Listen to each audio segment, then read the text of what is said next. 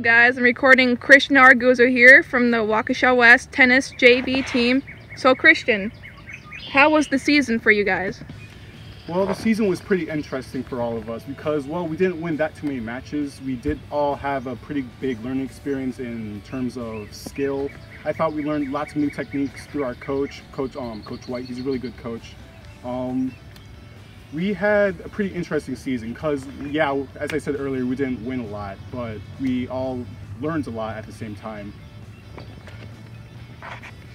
Uh, what were some of the individual and team highlights of the season?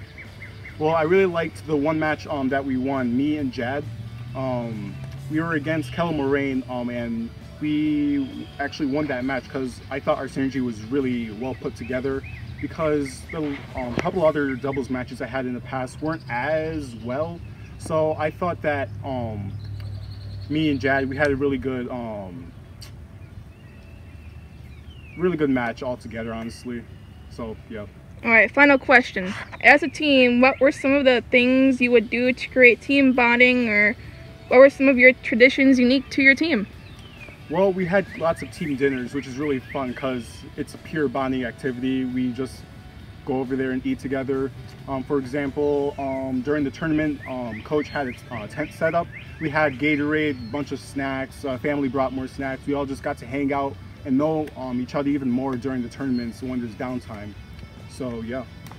All right, well, thank you for your time, and I'm happy the season went okay for you.